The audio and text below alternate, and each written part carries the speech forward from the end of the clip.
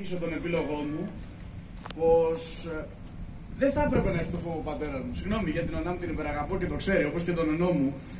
Αλλά υπάρχει ένας τρόπος με τον οποίο επιλέγουμε καθημερινά να ζούμε. Μπορούμε να επιλέγουμε να ζούμε με το κεφάλι κάτω, με τρόμο, να κάνουμε ό,τι μας λένε για να είμαστε εντός εισαγωγικών ασφαλείς. Όμως η πραγματική χαρά στη ζωή βρίσκεται στην ελευθερία, στην ελευθερία να κάνεις αυτό που θέλεις. Φυσικά η ελευθερία του ενός σταματάει εκεί που παραβιάζει την ελευθερία του άλλου.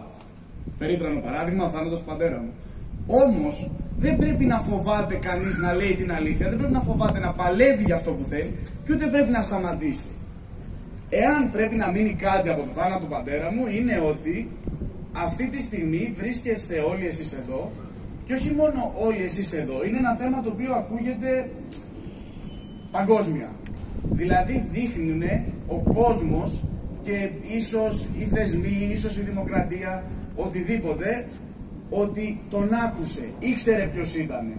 Εάν λοιπόν θέλουμε να αντιμετωπίσουμε τα προβλήματα τα οποία μαστίζουν την κοινωνία μας και θα συνεχίσουν να τη μαστίζουμε όσο κατεβάζουμε το κεφάλι, υποκύπτουμε και τα παρατάμε, θα πρέπει να σηκώσουμε ανάστημα, κυρίως όπως το έκανε ο πατέρας του, πέτοντας την κοιλιά μπροστά, και θα πρέπει να έχουμε το θάρρος της γνώμης μας, το θάρρος να παλέψουμε για το σωστό. Και ας βρεθούμε νεκροί στο κράσπεδο. Γιατί θα πεθάνει ένας, θα πεθάνουν δύο, θα πεθάνουν τρεις, θα πεθάνουν χίλιοι δεκατρει, ο χίλιος δέκατος θα ζήσει. Και είναι σημαντικό γιατί αυτή τη στιγμή βλέπετε εδώ πόσα παιδιά. Βλέπετε την ανιψιά του Γιώργου, του πατέρα μου. Βλέπετε τον Παναγιωτάκη.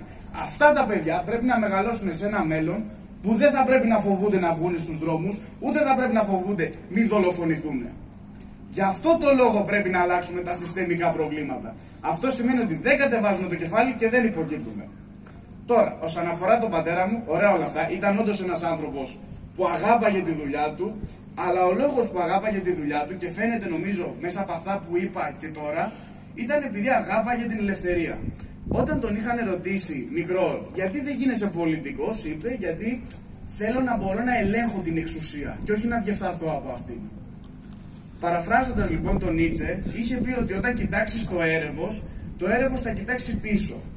Το έρευος μπορεί να κοίταξε πίσω και μπορεί να σκότωσε τον πατέρα μου. Ποτέ όμως δεν μπήκε μέσα του. Σας ευχαριστώ.